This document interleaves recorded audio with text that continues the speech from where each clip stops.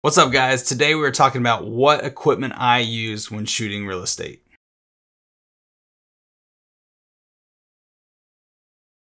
Hey guys, welcome back to the channel. As I mentioned today, I am going to tell you all the stuff that I use to shoot real estate videos. As you guys know, I shoot a lot of real estate for a living. I've done a couple of videos on how I shoot, but today I just wanted to go over basically my necessities. This is not always everything I use, but it is pretty much everything I use every time I go to shoot a listing. So for those of you trying to get into real estate and you want to know what the best equipment is or what equipment I use and what is the most accessible, then this is the video for you. Obviously there's going to be better lenses or better cameras or better lighting, but this gets the job done and gets the job done well.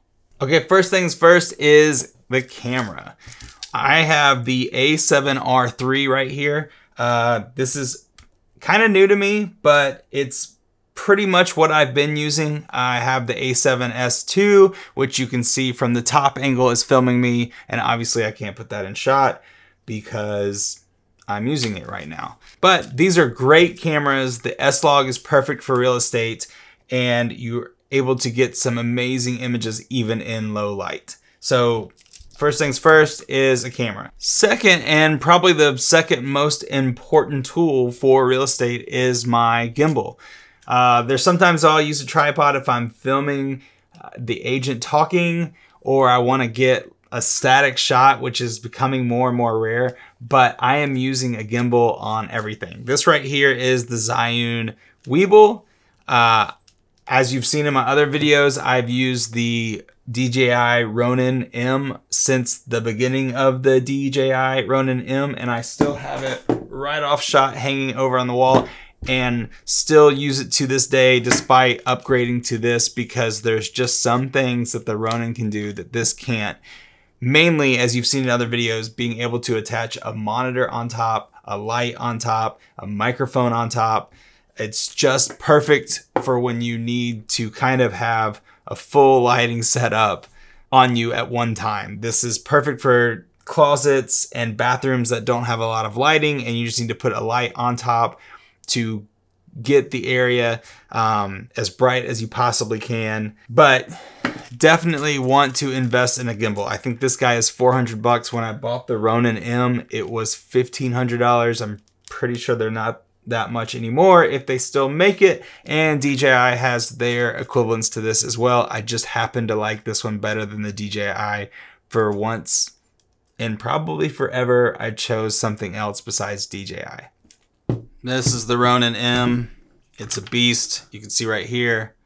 I've got this uh, whatever that I can put a monitor on like that to watch the camera instead of like looking down like this as uh, I've been known to do from time to time. I've also got another one of these guys that I put right here that allows me to put that light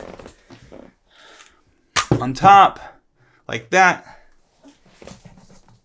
You've seen that before if you've watched the other video, but the Ronin M is great and you could probably get it for super cheap because it's old, but this thing still works. Speaking of having a light on the top, I have this Viltrox rectangle light, which is perfect for real estate, especially when you have it attached to a gimbal because it's not short and small.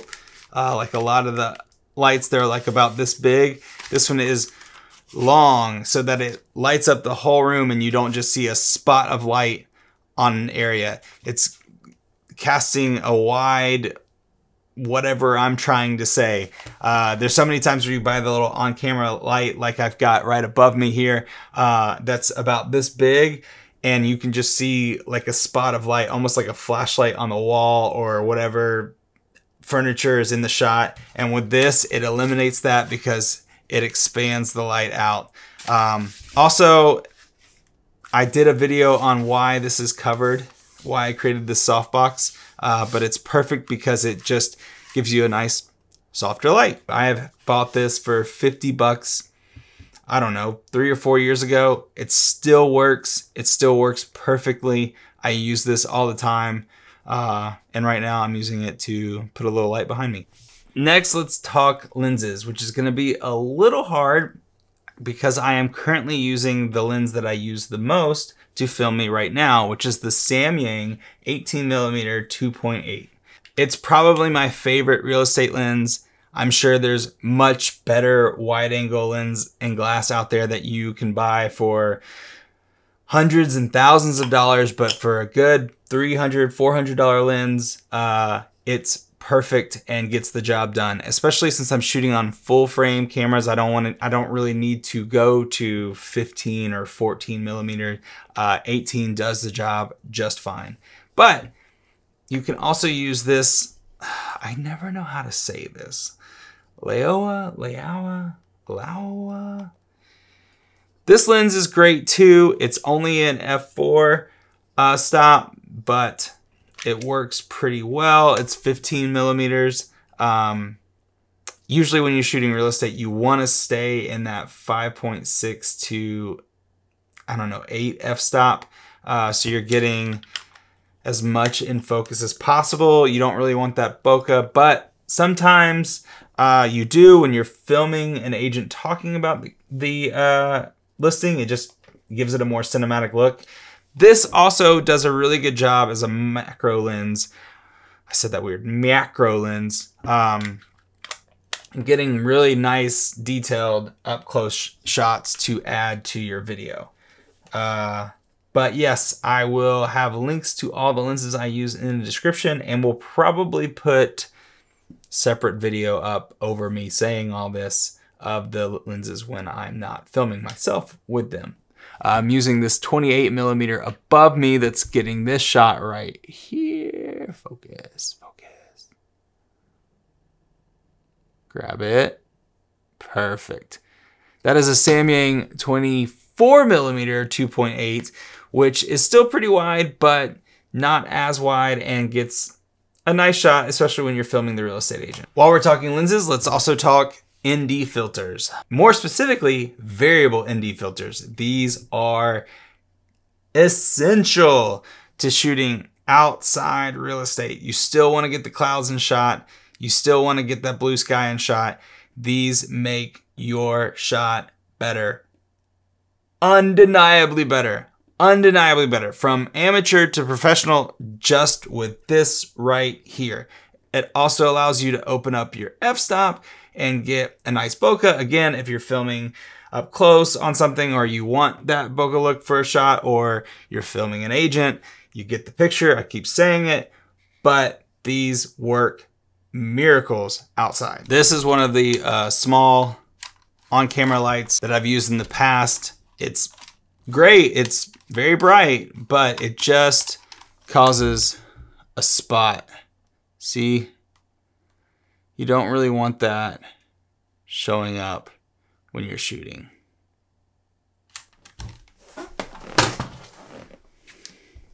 Whereas this casts a nice, wide, soft light on your room. All right, let's talk drones.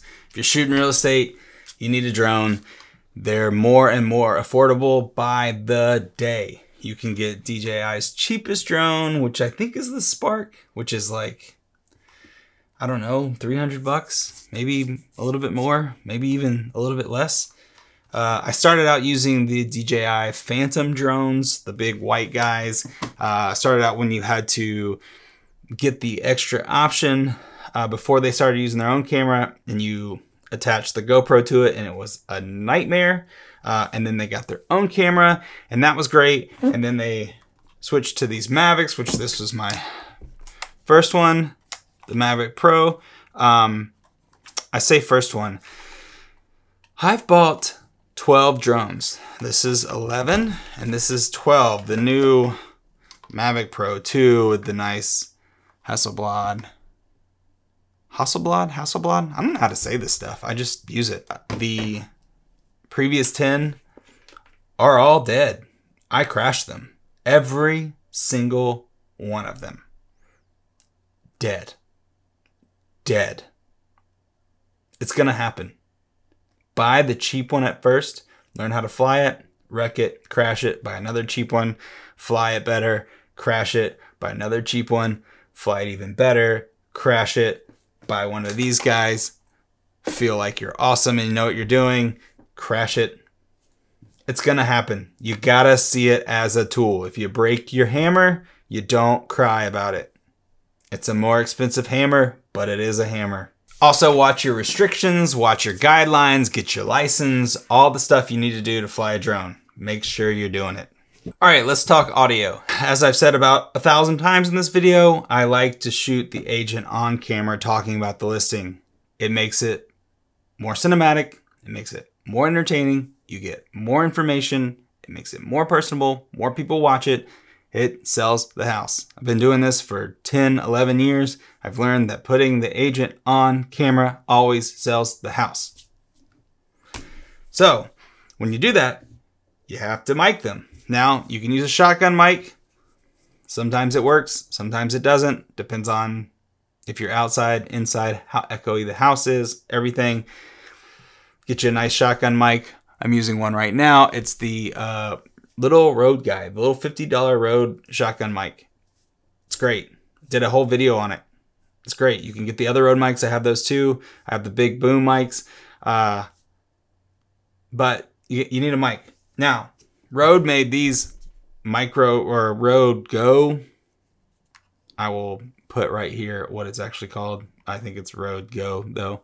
What makes these great is that this part will clamp right onto here and plug into your outlet.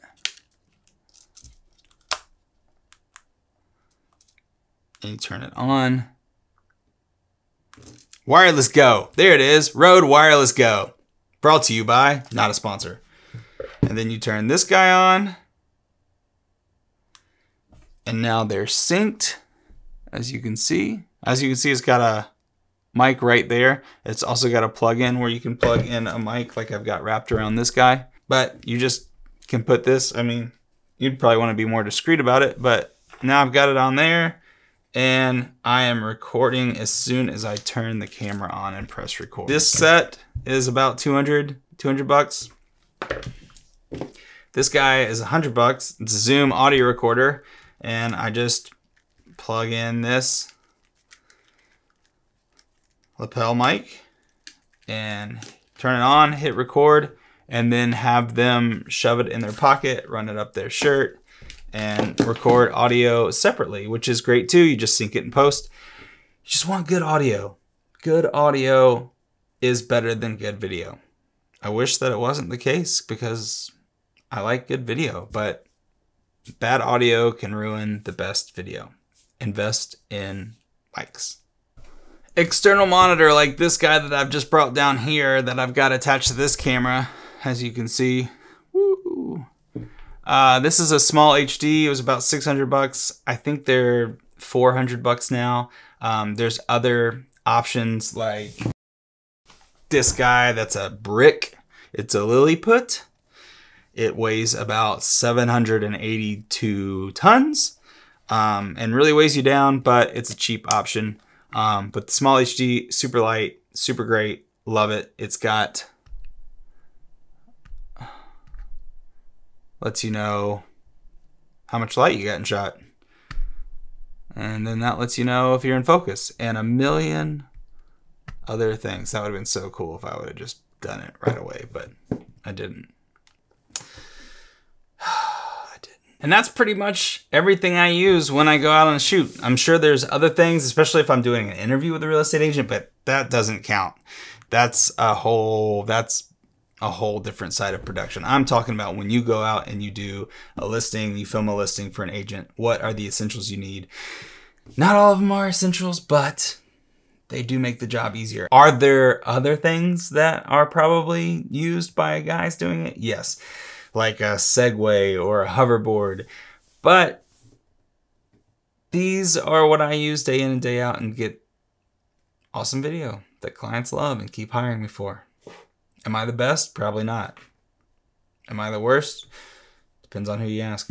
So if this video was helpful, please let me know in the comments. If you use something different, you have a different way of doing it, you wanna let me know how bad I suck, also leave a comment.